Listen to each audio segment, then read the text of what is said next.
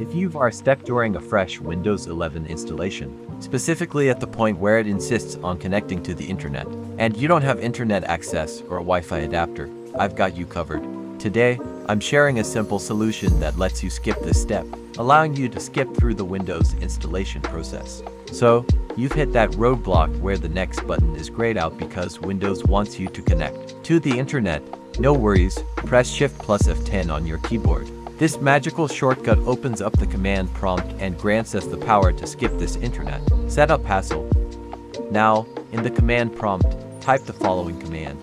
OOBE\BYPASSNRO and hit enter. This command initiates the process to bypass the network setup.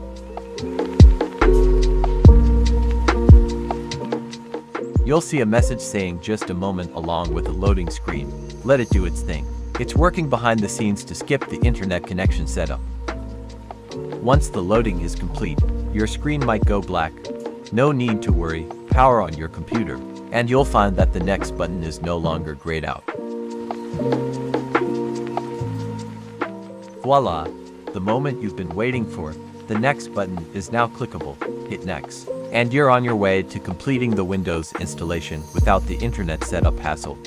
And there you have it. A quick and efficient way to skip the Let's Connect you to a network process during a Windows 11 installation. No more waiting for an internet connection, just follow these steps and you're good to go.